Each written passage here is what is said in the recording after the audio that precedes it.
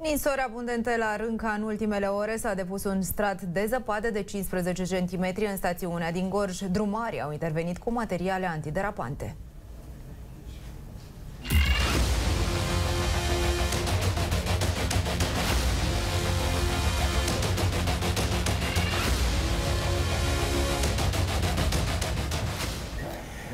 Un nou val de fenomene meteo severe cuprinde aproape întreaga țară. Vor fi ploi torențiale, dar și vânt puternic. Pentru zona de munte este în vigoare un cod galben de nisori însemnate cantitativ. Meteorologul Oana Păduraru vine cu prognoza actualizată pentru fiecare regiune. În parte, bună dimineața, Oana, te ascultăm! Bună dimineața, bine v-am găsit. Încă își menține valabilitatea atenționarea meteorologică cod galben, uh, emisă încă din dimineața zilei de ieri, pentru ninsori consistente, ninsori abundente în zona montană.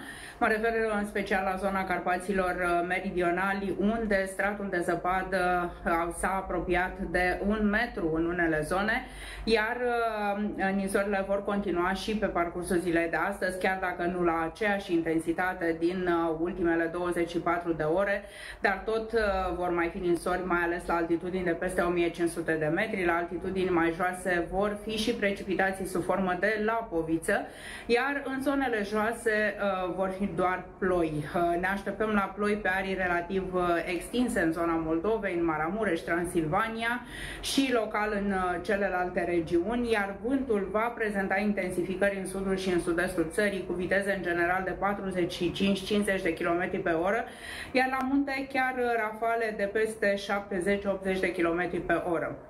Pe parcursul uh, serii și al nopții cerul se va degaja în mare parte din țară, însă mâine din nou ploile vor fi în extindere, începând cu partea de sud-vest a teritoriului, cu zona Olteniei și zona Banatului și vor fi prezente în aproape toate regiunile, iar cantitățile de apă vor putea depăși pe arii restrânse chiar 20 de litri pe metru pătrat.